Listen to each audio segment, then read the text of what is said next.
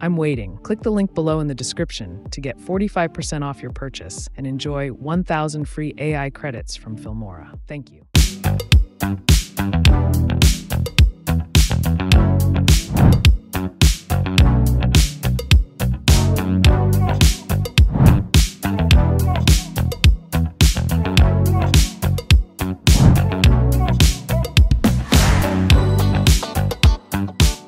Welcome.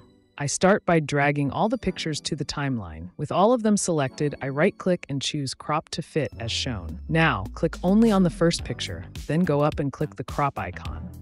Choose the 16:9 aspect ratio, go up and select Pan and Zoom, then adjust the grid as shown. After that, go down to the bottom right and click Swap icon to switch the start and end positions, then Apply. Right-click on the first picture to copy the effect, then select the rest of the pictures and right-click to paste the effect as shown. Now, go to Transitions and drag the film roll transition 1 between the pictures as shown.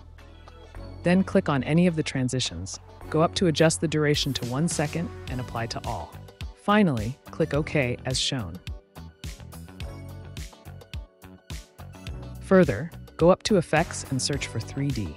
Then scroll down, drag, and apply the 3D slideshow style 1 effect to just the first and the third pictures as shown. Again, go up to Effects, then scroll down, drag, and apply the 3D slideshow style 2 effect to just the second and the fourth pictures as shown. Starting from the first picture, click on it, then go up to Effects. Scroll down to the Glow section and reduce it to 30. Do the same for the other pictures on the timeline. Click each one, go up, and reduce the glow to 30 as shown.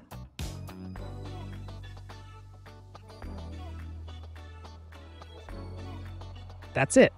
Now let's preview the result.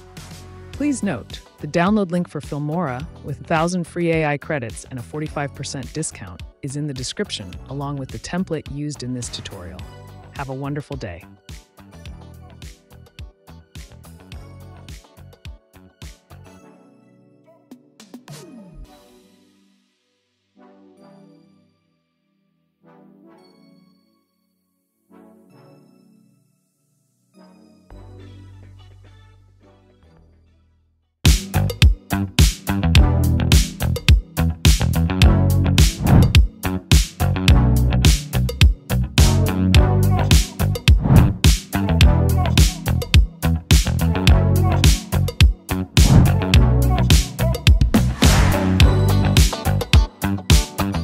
waiting, click the link below in the description to get 45% off your purchase and enjoy 1,000 free AI credits from Filmora. Thank you.